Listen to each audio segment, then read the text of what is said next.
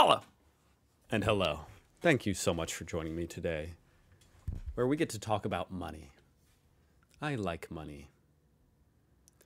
Hello, Erica. That's the channel. Go check it out. She has a lot of very interesting looking videos. I can't watch any of these because I don't react to stuff until it's a year old. But these all look fantastic. Go check out her channel. But today, cost of living in Germany. Haha. I love it. Very interesting topic. Let's react. For whatever reason you moved or are planning to move to Germany, be it because of the hmm. affordable education, a job opportunity, or you just Wrong. I'm just making a YouTube reaction. can't get enough Why didn't you say that? of those German sausages. Nevertheless, there's a lot to think and research about before making that big step. So here I present to you a video covering all the basic living expenses in the Federal Republic of Germany. If you are the type of person that would like to have a roof above their head, then you should consider your housing situation. In Germany, it Even the weirdest people I know still enjoy a roof over their head. really depends on what city you live in. So, in Berlin, the capital of Germany, a single bedroom apartment in the city center on average will cost you 1,233 euros and 43 cents. That's it? How is that possible at all? The center of Berlin is 1,233 euros, which a euro is even less than USD right now. Yeah, a euro is less, like 10% less than USD. So this is equivalent to like one thousand one hundred dollars or less. About one- about eleven hundred dollars. That's insane. I, I cannot believe that. In the center of Berlin, that is a bargain. Outside the center, 896 euros and 56 cents. And that's still in Berlin, we're talking. $900. Then the same apartment in the city center of Munich, which is one of the most expensive German cities, on average will cost you around 1,382 euros and 92 cents. And that's one of the most expensive. Outside the center, 1,000 I mean, don't get me wrong. It ain't like that super cheap. Obviously, here in Bum F, Indiana, that's expensive for a one bedroom apartment. That's very expensive. But we're not talking about Bum F, Indiana, middle of nowhere. We're talking about Munich, center of the city. And it's only $1,300. I mean, here where I live, one bedroom apartment would be like $800. And once again, this is euros, so it's actually only like $1,200. That's crazy. 42 euros and 82 cents. I So thought I thought the cost of living was really high. That's why I'm kind of confused. 10 to 14% difference. Like I know the housing market is crazy in Germany. But a smaller, less known city like Dresden, a single bedroom apartment in the city center will be around 550 What? euros and Guys, is this a week? She needs to tell me is this a is this a week? No, this is a month, right? What? Dresden? That's not even like a no-name city. I, I know Dresden. 22 cents, and No wonder you guys don't buy houses, you just rent apartments. outside the city 439 euros and 9 cents. So They're giving them away. prices really range from 300 euros for a shared flat in a more affordable area to 3000 euros for a three bedroom apartment in an expensive city center. 3000 is like that's how much you would have to pay to live in the city center of New York in a in a in an apartment this big, literally this big. Okay, this big. Yeah. center. If sadly the Wi Fi is not included in your rent, on average, a single person will be spending about 48 euros per month on mobile and That's not bad. internet. Wait, mobile and internet? Only 48? Moreover, it is good to remember I pay 70 for just internet. For the additional relocation costs, such as the deposit, which can climb up to two or three month cold rent. Imagine yourself in a new Toyota. An American truck. Whoa! I bet that's exactly what you guys assume every ad is like here in America. And you'd be right. Plus soon climb up to two or three month cold rent. Kaltmiete. Plus That's pretty crazy, but Sooner or later, you might get a letter saying you need to pay the radio and cable bills, even though you don't use these services or you don't even speak German. The fee will be around 18 euros 36 cents a month per household.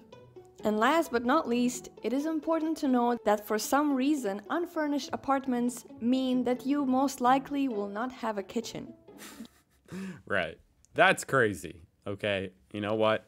They better not charge me $3,000 if there's no kitchen. Just some pipes and a bucket.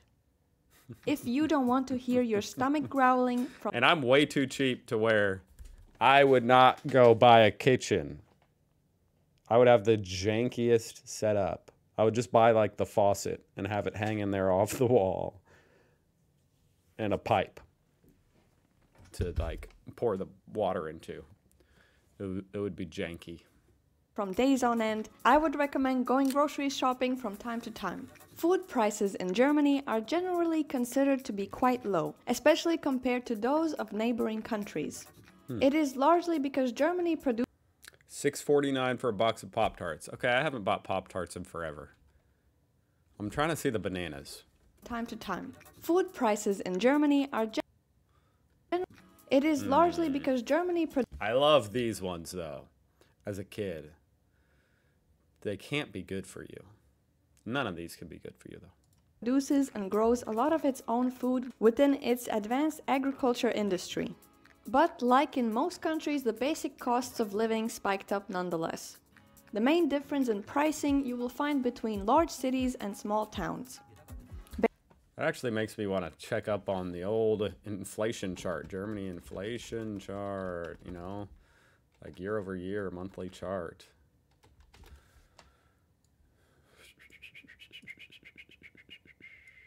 Because inflation was real bad. What the heck? It was really bad in Germany. Oh my god. Are you serious? Is that accurate? 2.5%? Is that accurate? This is the consumer price index year over year. What? Oh my gosh. Inflation is over, folks. That's straight up low. You guys run out of low inflation, huh? 1.9 to 2%, like 1 to 2% usually. That's pretty exciting though. I'm glad that's over with. Hopefully. Basic food prices vary according to where you shop, but these prices are the average for Germany. 1 liter of milk, 70 cents. That's pretty cheap. I mean, I remember a day where you could buy a gallon for a dollar, which is even cheaper than this. Because there's at least two liters in a gallon.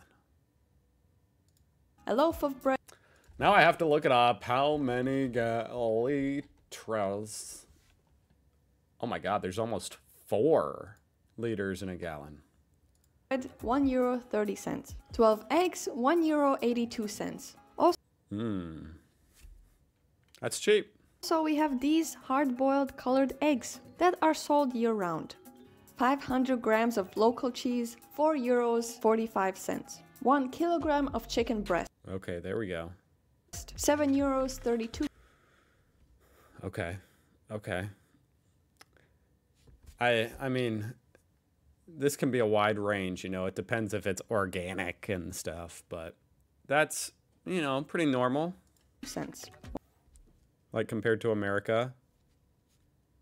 One kilogram of rice, I'm not saying America's normal. I just mean normal for me. Calm down, guys. I know. The rest of the world does exist. I acknowledge this. 2 euros 9 cents. A kilo of bananas, 1 euro 63 cents. Okay. How many kilos in a pound? Sorry, guys. This is difficult. Oh, man.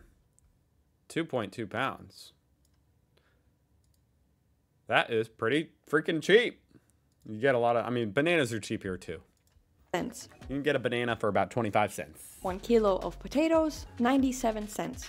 1 bottle of mid-range wine, 4.99. Nice. That rhymed.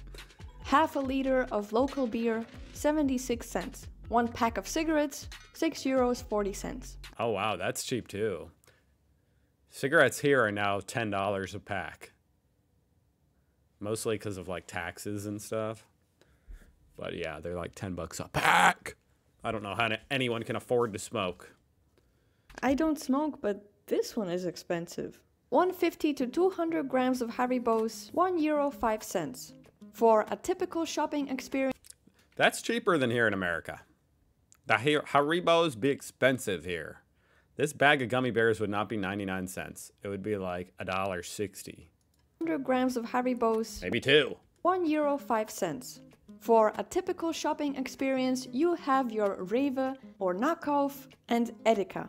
If you prefer collecting as many steps as possible while shopping, with reasonable prices, I recommend Kaufland. And if you're looking for some more financial Never heard of it. stability in your life, budget-friendly supermarkets Aldi. like Aldi, Lidl, Netto, and Penny are always there for you. Somewhere. Plus, Yeah, I mean, Aldi is like the budget friendly supermarket here in America, too. Mainly because they have these brands that no one has ever heard of. It's like weird knockoff brands, honestly. They do have name brand stuff as well, some, some name brand stuff, but they have a lot of interesting suppliers that I've never heard of. I mean, it's good though. I, I like going to Aldi's. plus, don't throw away your plastic or glass bottles. Yes, since yes, yes, yes, of course. unwillingly This is Germany 101. uh, The Pfand. The Pfand. paid a deposit for them called Pfand. It's usually around 8 to 25 cents per bottle. It might not be much, but it adds up, especially if you're a big fan of Diet Coke. Oh man, yeah, I love Coke Zero. So, a single person household will spend approximately 180 to 200 euros per month on groceries. That's pretty cheap. A couple will spend approximately 369. Nice.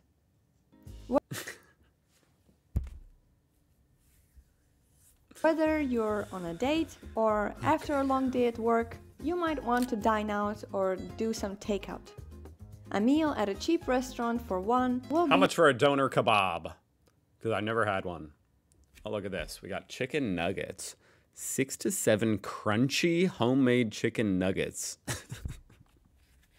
is, is this like an American restaurant?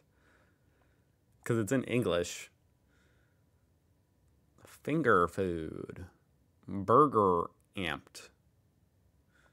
Dear customers, the burgers are grilled medium on the Burger Amped grill. All burgers are served on a bun baked fresh daily. Oh, that's nice. The preparation of the burgers usually takes 10 to 20 minutes. I love how how much detail you get on these menus. They're not telling you on the menu how long it's going to take to cook your burger here in America.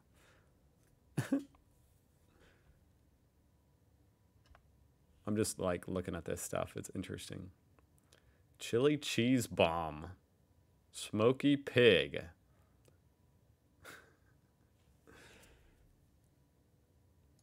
be around 11 euros.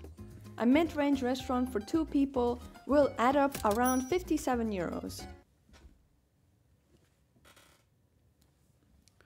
Yeah. I mean, that's pretty expensive. I guess mid-range, yeah. I'm a I'm I'm pretty cheap, guys. I'm pretty cheap. So to me, yeah, you can easily spend that much. And if I take my wife out somewhere, she will find a way to. But you could also just spend like 25, 30 bucks if you if you uh try to not spend a lot. A fast food combo will cost you 9 euros 70 cents. Woof. Yeah, it's about the same here in America, but man, that's crazy how it did not used to be this way, guys. Take it from someone who's old. It did not used to be this way. You used to be able to get a fast food combo for like $5, $4.50. But an average price for a Big Mac is 5 euros 89 cents. In restaurants, a tip is generally Whoa, what is this?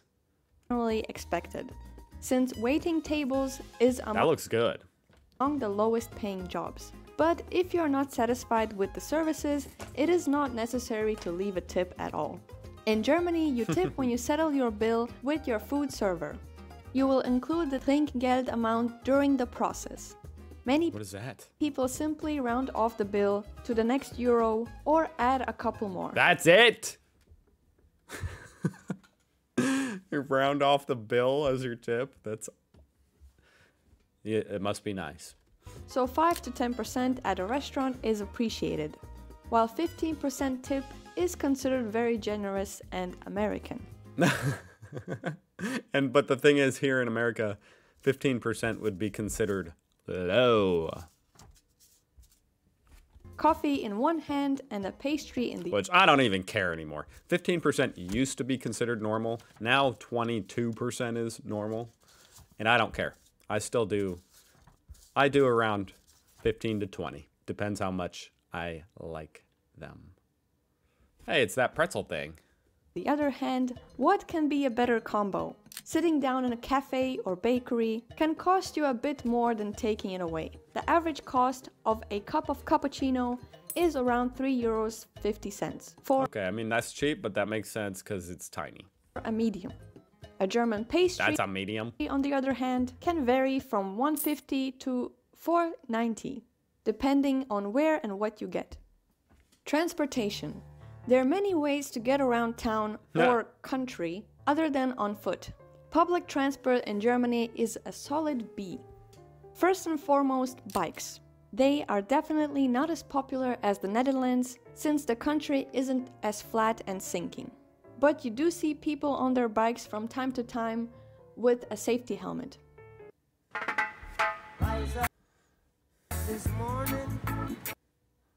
Is she going to talk about how much this costs? Infrastructure also differs I'm like a little bit confused. from city to city. Nevertheless, sports bikes are their first choice. A single bus, tram, metro, U-Bahn, and I mean, I guess a bike is free after you buy the bike. S-Bahn trips usually cost between 280 to 350. But it depends on the distance you're traveling. Like most countries, you pay bus fares on the bus, otherwise you won't get in. But when it comes to trams and metros, those require an outsider machine that is sometimes confusing to operate. A passenger without a valid ticket can face a fine of 40 to 60 euros. For long distance travel, to see your I mean, if you get away with it 20, 20 out of 21 times, it might be worth it, guys. Don't do that. long distance friends, we have trains. A single ticket prices range from 5 to 200 euros depending on the distance. And it's best Five bucks for a train ticket. That is crazy. Best to buy the ticket in advance as early as possible because the Crazy cheap. later you book it, the higher the prices will get. Monthly subscriptions Mm, good tip. also exist based on your region. It can range from 60 to 200 euros depending on the city. That includes all kind of transportation. Or you can get a Bahn card for reduced rates and discounts. However, if you have 4,144 euros to spare, you can buy the Ultimate Bahn Card 100 for a year's worth of travel anywhere and everywhere at any time. As a student, you get your regional travel Oh my god. It might be worth it. $4,000 for the year to go anywhere, everywhere, anytime. It might be. I mean, that's crazy. I don't know. It might be worth it though. Ultimate Bahn Card 100. I mean, how much is that though? That's kind of a lot. That's like over ten dollars a day. for a year's worth of travel anywhere and everywhere at any time. As a student, You'd you have to travel a lot. your regional travel covered by the university, which is pretty convenient. Nice. Nonetheless, it is rumored that next year in January there will be a universal German monthly travel subscription for 49 euros, which is pretty dope. Even though Germans love their cars, owning one is not cheap, especially regarding fuel, insurance, parking, and maintenance. Mm, I'm interested in the fuel. Because I know gas is expensive over there, especially after the whole extravaganza in the east. Let's call it that. maintenance. On average, you will be spending at least 520 euros a month with the car not included.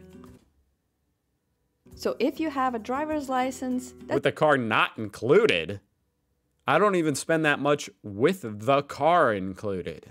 doesn't mean you should use it. But on average, people are spending 214 euros a month on traveling, whether by train or car. If Look at that thing. Twizy. employed, you will spend 14.6% of your gross income on public health insurance. The employer contributes half of it. Therefore, employees pay only 7.8% Oh, of their okay. Nice. gross income. Nonetheless, on average, a person spends around 67 euros a month on their health. That 67 a month. Not me. Not me. includes medication and prescription I mean, America's way more expensive, but I mean, not me because I just don't buy any of this stuff.